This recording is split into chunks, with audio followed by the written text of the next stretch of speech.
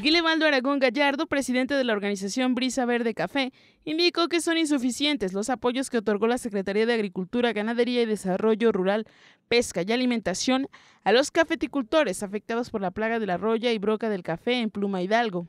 Indicó que para abatir la roya se debe implementar un programa más agresivo.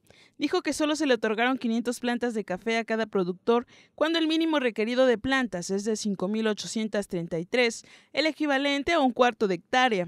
Considero que para poder abatir bien el, ataque de, de la roya se necesita implementar un programa más agresivo porque nada más se le están dando 500 plantas a un productor y un paquete tecnológico pero yo considero que para que un productor pueda rescatar su actividad, pues tendríamos que estar hablando de que le apoyaran por lo menos con un cuarto de hectárea por año. Tendríamos que hablar que si a una hectárea, para poderla tener rentable, le, sembramos 3.333 plantas, pues este, una planta anda alrededor de 6 pesos.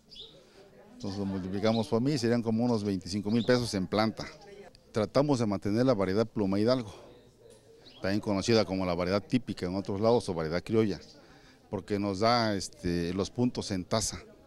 Pero ahora con el problema de la roya también nos vimos en la necesidad de, adoptar eh, el cultivo de otras variedades que se le llaman resistentes a la roya.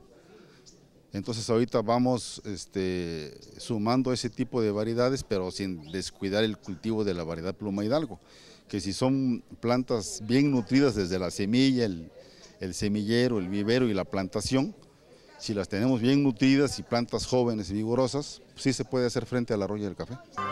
Detalló que con el objetivo de no perder la calidad del café que caracteriza a Pluma Hidalgo, los cafeticultores cambiaron la metodología en la producción, situación que ha disminuido hasta en un 50% los daños provocados por las plagas de la roya y la broca del café. Con imágenes de Pablo Enrique Cruz informó para MBM Televisión, Karime Cruz.